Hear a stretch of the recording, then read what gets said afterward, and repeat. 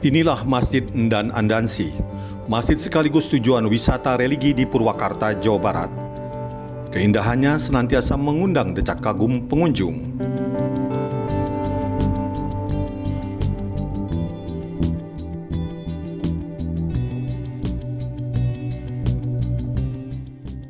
Sebelum memasuki masjid terdapat lima tingkat undakan tangga batu alam.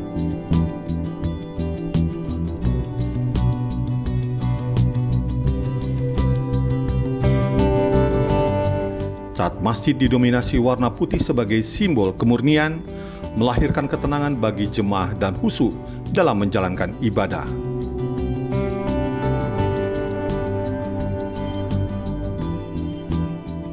Demikian pula interior masjid, didominasi warna lembut memanjakan mata.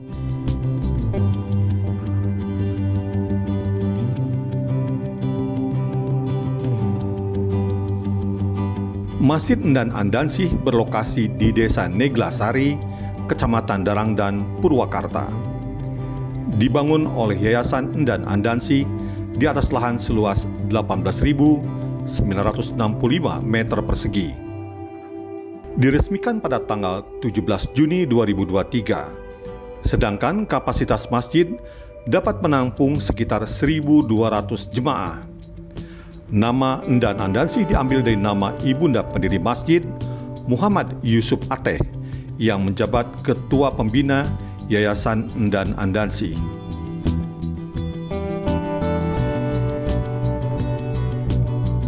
Masjid ini bukan hanya kebanggaan warga Purwakarta, tapi kaum muslim yang datang dari berbagai daerah.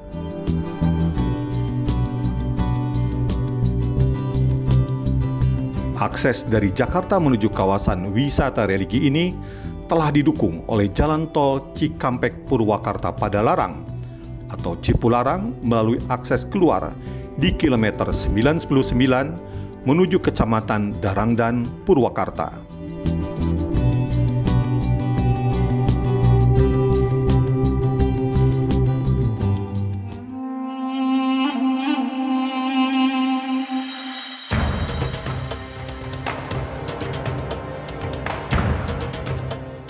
Selain keindahan arsitektur dan alam Purwakarta yang asri, di Masjid Endan Andansih juga kerap diadakan kegiatan-kegiatan menarik. Antara lain, tablik akbar dan halal bihalal yang dilaksanakan pada Sabtu 11 Mei 2024. Pada acara ini hadir Habib Hussein Ja'far Al-Hadar dan Ustadz Abu Fida.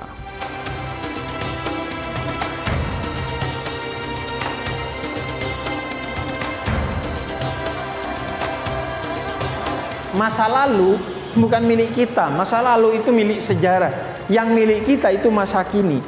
Kalau kita ingin masa depan kita baik, maka ukir masa depan itu dari masa kini dengan berikhtiar yang baik. Dan kalau kita ingin masa depan yang baik, maka kita pastikan masa depan itu dengan berdoa kepada sang pemilik masa depan, yaitu Allah dengan segala doa-doa yang baik.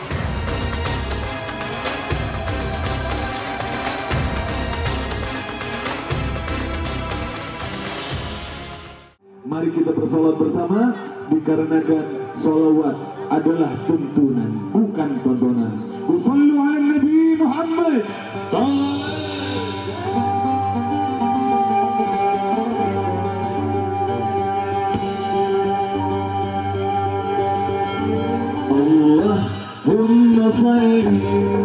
Selain siraman rohani, jemaah juga dihibur oleh alunan gambus dan suara merdu Habib Syekh Razi Maula Dawilah.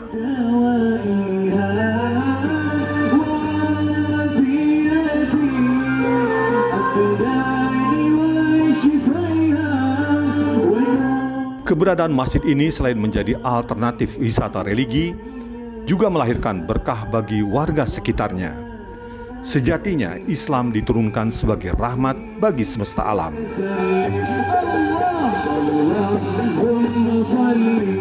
Untuk kepada masyarakat khususnya khusus Kecamatan Darangdan, kemudian Kabupaten Purwakarta, tentunya eh, pembina kami Bapak Haji Muhammad Yusuf Ateh juga menginginkan masjid ini adalah masjid terbuka untuk umat dan silahkan digunakan untuk kepentingan-kepentingan terbaik. Contohnya adalah acara seperti ini. Yang insya Allah juga ini acara-acara lainnya. Kemudian kita sandingkan dengan acara-acara UMKM, kemudian food court dan sebagainya dalam untuk menggerakkan ekonomi umat. Masjid bagus ya, merasa indah sekali gitu, merasakan karena di dalam masjid ini yang paling bagus gitu ya di antara masjid-masjid yang lain gitu. Uh, soalnya kita oh, sudah beberapa masjid kita kunjungi. Kebetulan masjid ini yang belum. Jadi kita sengaja datang ke sini. Uh, bagus. Bagus, bagus. Bagus ya. Bersih, bersih kelihatannya. Ya. Kawasan masjid juga dilengkapi dengan taman bermain, rumah tahfidz sebagai bagian dari misi pendidikan, rumah singgah, gazebo lentera, restoran, UMKM mandiri yang berdampak pada perekonomian warga, serta fasilitas lainnya yang membuat nyaman pengunjung atau jemaah yang berkunjung ke masjid. Respon pengunjung sangat positif, baik terkait fasilitas, keamanan dan kebersihan masjid, serta area sekitarnya yang terawat baik. Inilah destinasi wisata religi di Purwakarta yang patut Anda kunjungi. Tim Liputan Jak TV melaporkan.